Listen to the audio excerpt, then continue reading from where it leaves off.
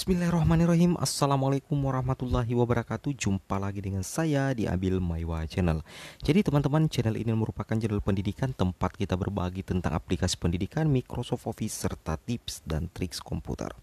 Jadi teman-teman di video kali ini kembali lagi admin akan berbagi sebuah video informasi yang cukup menggegerkan Karena informasi ini langsung muncul di beranda guru pppk.kemdikbud.go.id Makanya melalui video kali ini admin akan mencoba menenangkan dan sekali sekaligus memberikan pencerahan informasi kepada teman-teman guru honorer di sekolah negeri tentang aturan baru atau permasalahan yang dikembangkan oleh pihak Kemendikbud. Artinya eh, permasalahan ini disosialisasikan melalui Instagram atau Twitter seperti itu ya. Jadi seharusnya ada seperti itu teman-teman ya. Jadi di sini judul videonya teman-teman adalah data pelamar P3K guru belum tentu terekam di SSCSN. Wow, ini bahaya sekali. Jika data pelamar teman-teman guru honorer itu tidak terekam di SSCSN, maka sudah dipastikan teman-teman akan gagal di seleksi administrasi. Seperti itu teman-teman ya. Nah, kira-kira apakah dampaknya, apakah ada penyebab utamanya? Kita langsung ke videonya. Yaitu ini penyebab utama data pelamar P3K guru belum tentu terekam di SSCASN. Seperti itu ya. Nah, ini adalah pengumuman resminya teman-teman ya. Pengumuman resminya itu langsung dari portal, portal informasi pendidik pendaftaran P3K guru kemdikbud.go.id.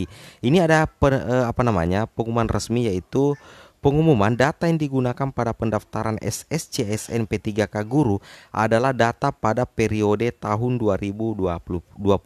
Jadi pemutakhiran data yang dilakukan setelah periode tersebut tidak dijamin terekam pada seleksi. Berarti tidak dijamin, berarti ada dua kemungkinan teman-teman ya.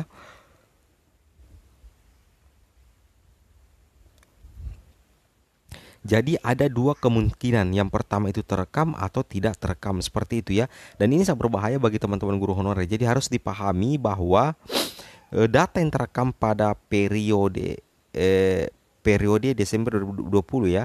Data yang digunakan pada pendaftaran SSCASN P3K guru Uh, itu adalah data periode Desember 2020. Nah, ini menjadi persoalan tersendiri karena jika tidak terekam di sistem SSC ASN maka secara otomatis teman-teman guru honorer itu akan tumbang teman-teman ya atau atau tidak bisa lanjut di seleksi kompetensi karena dipastikan tidak lolos di seleksi administrasi. Nah, nah bagaimana solusinya? Apa kira-kira penyebabnya? Kita lihat di sini.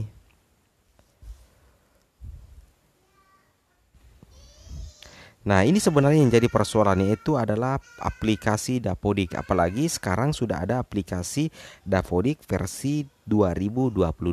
Jadi kenapa admin giring lagi ke sini di Dapodik? Karena di sini Dapodik itulah yang akan menjadi server utama untuk penarikan data atau melakukan sinkronisasi agar data teman-teman di SSCSN itu eh, baik Nah, karena kenapa? Untuk Kemendikbud dengan SSCSN itu sudah kompak melalui jalur WA seperti itu teman-teman ya.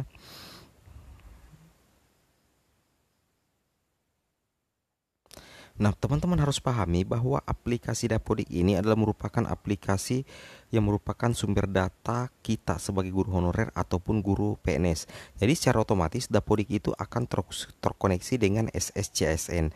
Nah, di sini kita lihat bahwa di sini tadi dijelaskan eh, mana di sini bahwa eh, Pemutakhiran yang di pemutakhiran data yang dilakukan setelah periode tersebut tidak dijamin terekam pada seleksi pendaftaran guru ASN P3K 2021.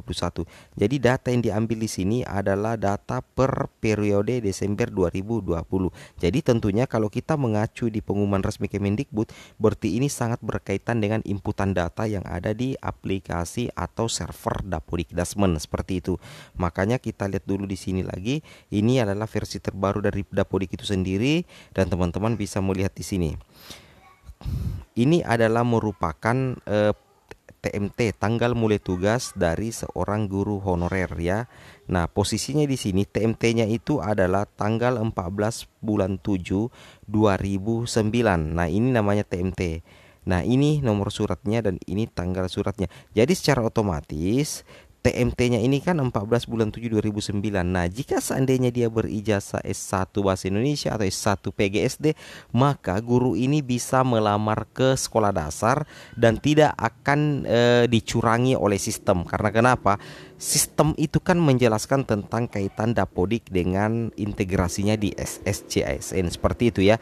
Jadi, jika tanggal jika TMT tugas teman-teman itu sudah tanggal 14 bulan 7 2009 atau dibawa dari pengumuman resmi dari Kemendikbud bahwa itu yang diambil adalah data periode 2020 maka teman-teman guru honorer itu pasti aman ya. Pasti aman posisinya. Karena di sini tanggal TMT tugasnya itu adalah 14 bulan 7 tahun 2009 jadi memang eh, sangat jauh teman-teman ya sangat berbeda. Seperti itu ya. Jadi memang jika kita sudah eh, di dibawa dari tahun 2020 itu sebenarnya sudah aman teman-teman ya. Maka data teman-teman itu akan terekam dengan baik di SSCSN jadi begini caranya mengecek. Silakan teman-teman koordinasikan dengan operator sekolah jika teman-teman muncul persoalan seperti itu di Verpal Dapodik. Cara menyelesaikannya yang pertama itu adalah teman-teman melakukan Verpal Dapodik kemudian cek Dapodik kemudian melakukan sinkronisasi. Yang ketiga adalah teman-teman bisa menghubungi admin dinas untuk diperbaiki datanya yang berkaitan dengan login dengan sinkronisasi. Seperti itu teman-teman ya, seperti itu. Oke teman-teman, mungkin cukup sampai di sini video informasi saya. Semoga video ini bermanfaat. Jangan lupa like, comment, dan subscribe. Assalamualaikum warahmatullahi wabarakatuh.